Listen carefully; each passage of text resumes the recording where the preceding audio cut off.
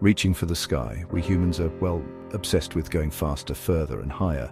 This is especially true in the world of aviation. Every year planes get bigger, they fly longer distances, and they use even cleverer technology.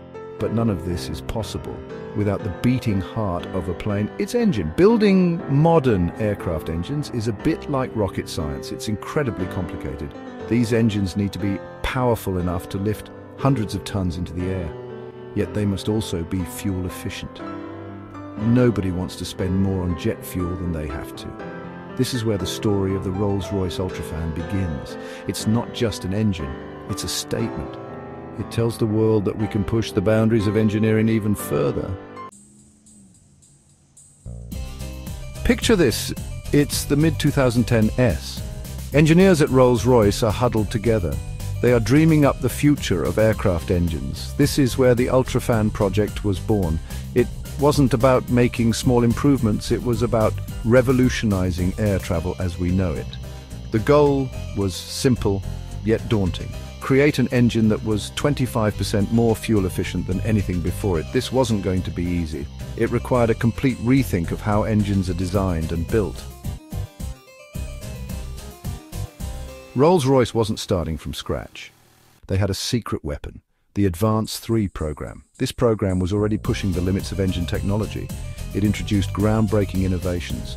One of these was 3D printing, this allowed Rolls-Royce to create complex engine parts that were lighter and stronger. They also started using ceramic matrix composites. These are super tough materials that can withstand incredibly high temperatures. And let's not forget about lean burn combustion. This clever technique reduces harmful emissions while improving fuel efficiency. The Ultrafan takes all these advancements and cranks them up to 11, it introduces even more game-changing technologies. First up, the gearbox. This might not sound very exciting, but it's crucial.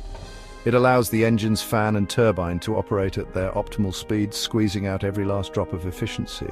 Then there's the fan. It's massive, measuring over 140 inches in diameter, and it's not made of metal, but a lightweight composite material. This reduces weight and makes the engine more fuel efficient. Finally, Rolls-Royce completely redesigned the engine's layout. This improved airflow and further boosted efficiency. The Ultrafan isn't just about saving fuel, it's also incredibly versatile.